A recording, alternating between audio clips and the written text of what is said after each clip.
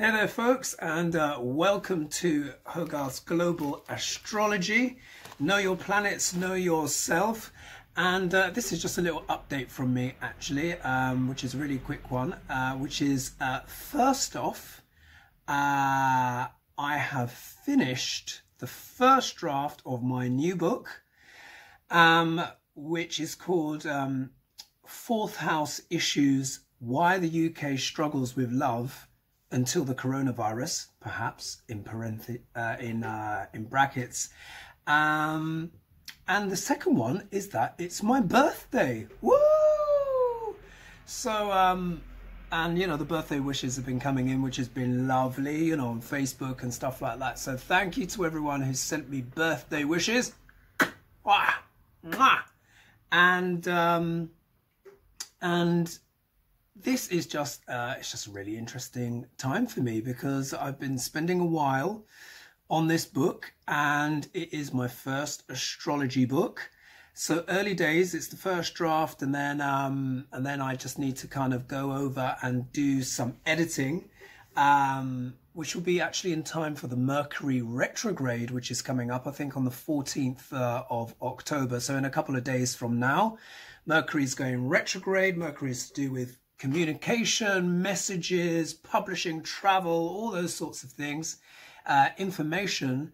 And it's a time for review. So um, whenever a planet is going backwards, whatever it, that planet symbolizes comes under review. So perfect time for me to actually start uh, editing my book as the nights draw in.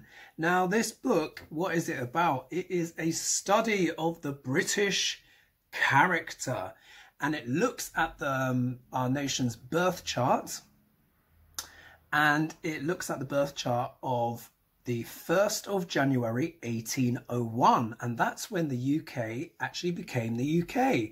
Um, Scotland and uh, England were, and Wales were already united and then with uh, this uh, act, um, the Act of Accession in 1801 Northern Ireland joined the UK. Now, obviously, this is a controversial thing, and you know, I won't go into all of the, the historical matters. We see how full, things come full circle. We've got Brexit, we've got all these different kind of things uh, going on. However, there's something important to know. Whenever a nation is created, or they have a, it has a significant change in status, like either separating or joining, um, that nation has a new birthday. And I thought it would be quite important to talk about birthdays, given that it's my birthday today. But the UK will have a new birthday because why? On the night of the 31st of December 2020, and then at the stroke of midnight, CET, Central European Time, not UK time, Central European Time, because that's when basically the UK leaves Europe, so it's going to be on their clock. Um, our nation will have a new birthday. Um, I discussed the new, I discussed the details uh, at the end of of my new book, but it's going to be a very interesting time for the UK. We will have, um, I think it was what's it called, third nation status. And of course, you know, this being uh, my channel being also about global astrology as well as the personal, I just thought it was worth mentioning that. And I've actually made some predictions in the, in my book for what uh, and how the UK character will change. Ooh. So um, if anyone is interested in potentially being a beta reader for my book, so if anyone's unfamiliar with that term, a beta reader is basically someone who basically reads sort of like an early early draft of, of a book and they give their opinion, their sixpence worth, how it can be improved. They look out for mistakes, etc., or even come up and suggest ideas which I'm very open to. This book is, is very unusual. I don't think it's been done in astrology uh, before. It covers what is called mundane astrology. And mundane astrology basically means the astrology of the land, uh, essentially. And the house symbolisms stay similar, but not exactly the same when we're dealing at the level with countries. And um, so it would be wonderful to have some beta readers there, you know, to, I'm very interested as well in people's personal stories. Um, this is, you know, relevant to people that are British, but those that know the British well can also give give their give their opinions, and um, it's very interesting because uh, a nation's birth chart really does have, have a big effect on the character of its people. And in this book, I have gone into details uh, not only with uh, the astrological positions, but also as well the objective and national and international statistics of phenomena that happen in the UK. And what I do is I combine those two so people can understand how astrology affects all of us. And I don't think um, a book has been done quite in this way. It's something that's quite different. I mean, mundane astrology is is well known as a term in astrology. Um, but this is normally when we kind of talk about what may happen or not happen in a nation, maybe on a YouTube channel or something like that. What's different is that this is this is a book that combines um, Vedic astrology uh, with uh, tradition uh, with um, tropical astrology, as it's known in the West, and it combines it with facts and statistics. So in this book, I've used when I've used the chart of 1801, January 1st, 1801, I've actually looked at that the UK chart from the tropical sign placements. Why? because the chart is so old. It's hundreds of years old. 1801 was a long time ago now. And the stars have moved since. Um, also, as well, the UK is a Western country. So, um, so with that old Western chart, when, when I actually looked at the old Western chart, that is the one that actually has the closest psychological fit with the UK character. However, when our birthday changes, I have used the Vedic positions for that chart. Um, but I will also look at the tropical positions as well, because you know what? Both will be relevant. Both systems work. They arrive at their conclusion slightly differently, but it's the Vedic chart that gives those real kind of very juicy and succulent insights. Um, so there will be a bit of both. And I, in this book, I look at everything. This is warts and all stuff, you know, from the best to the absolute underbelly sin bin of what the UK um, has experienced and done over history. Because we need, um, we need an accurate appraisal of history. In the UK, we're mature enough to handle this kind of uh, information. Now, as a nation, we've been around for a long time, but it's very, very important um, just for a nation and its people to really have a warts and all approach to history because otherwise we will repeat our mistakes. Um, but there's also a lot of uh, hope and there's a lot of joy and there's a lot of humor in the book as well because after all the brits are funny people. But you will find out very interesting things like a why our politics is the way it is uh, b um, the british empire. You know why that was the way it was and why it's still relevant today um, also, as well, more entertaining things like why uh, we're so good at producing uh, singer songwriters in the UK and why we're so good at the arts and theatre. Um, that's all in there, and many more different things, including the eighth house of the UK chart. Because my goodness, we may have this quite staunch uh, veneer, but there is a lot of passion underneath that British character and the eighth house really shows that there's quite a kinky streak uh, in the uh, in the British personality, and there's so much more as well in there. And it's basically it's not just me proclaiming things, just using the astrology. It is astrology plus statistics, and we're talking about you know respected bodies so in terms of like the UK you know the you know Office for National Statistics um, you know, the Department of um, of um, um, oh my goodness, the Department of uh, what do we call it? DWP, Work and Pensions. That's it. Got there in the end. Department of Work and Pensions. Um, I also look at newspaper articles and international data and what international bodies have shown as well about about the UK. And it's all in this book. So it's very juicy. Even if I do say so myself, it's very juicy. It's full of interesting little tidbits and funny quirks and all sorts of things, especially as well. There's even a little bit about James Bond in there and why that is so significant as part of the British personality. So I hope that wraps things up, gives you guys a real nice taster of what's to come. I need to do my first edit.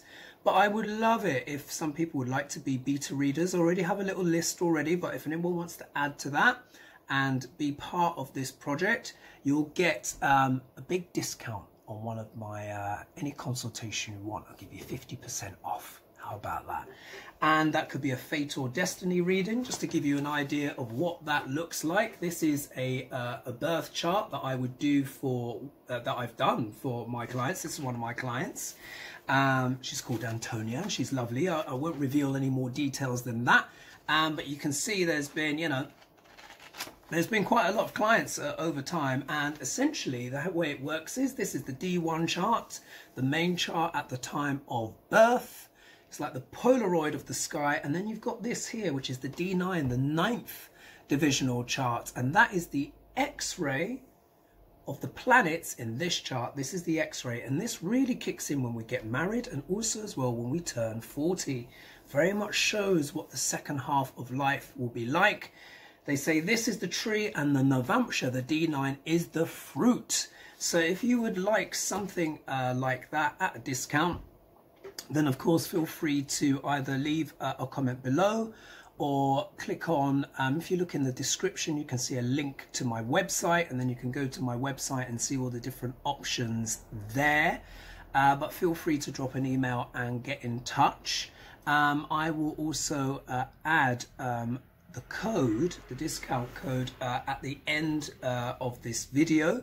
Um, and uh, and yeah, can take it from there. So so it's a birthday announcement, and it's also a book announcement. Um, I'm so glad I got it done. Can you imagine with COVID, all the pauses and all the hoo ha, and it's going to be a very unusual book because of because of COVID the structure is going to be something quite different because you can imagine so much happened. I started the book in October of last year and was really kind of like ripping through. Got a long way in, into the book, and then come March, you know, we, we've had COVID and it looks like we're going back into more potential lockdowns now. Funnily enough, as Saturn is has turned direct. Saturn is the planet of lockdown. He turned direct at the end of September and is now marching forward. And what do we see around the world? Flu season, uh, coronavirus, all that stuff coming back. He is the planet, planet of winter after all.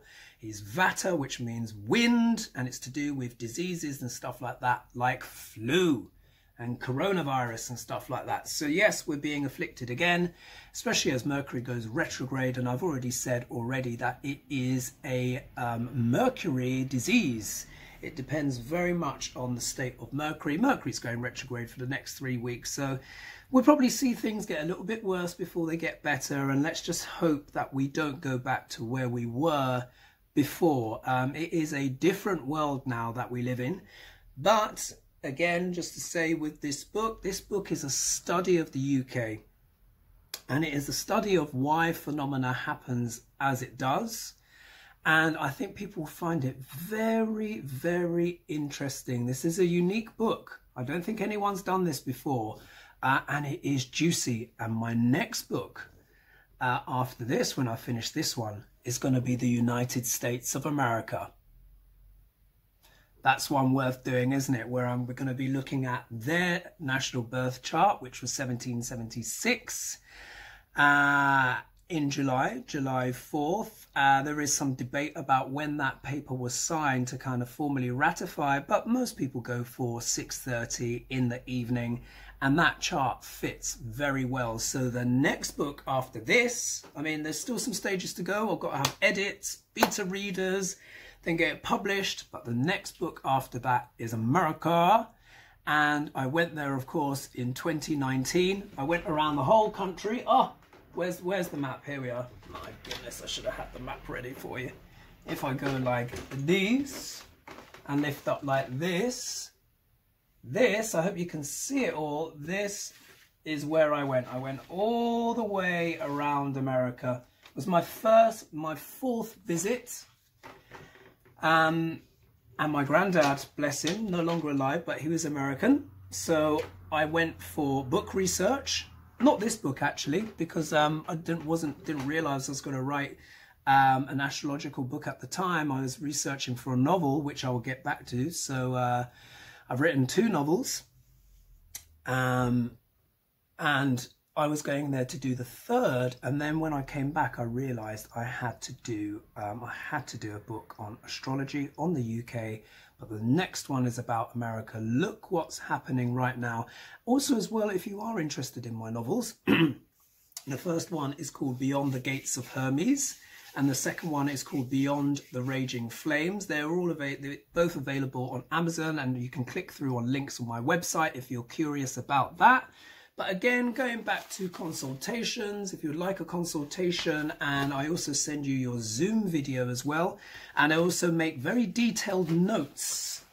You can see here, you can see my notes here. I also make very detailed notes of suggestions and recommendations of how uh, to improve your life, but also as well covering what the things that come up during the consultation. So it's a full suite of, uh, uh, of packages there.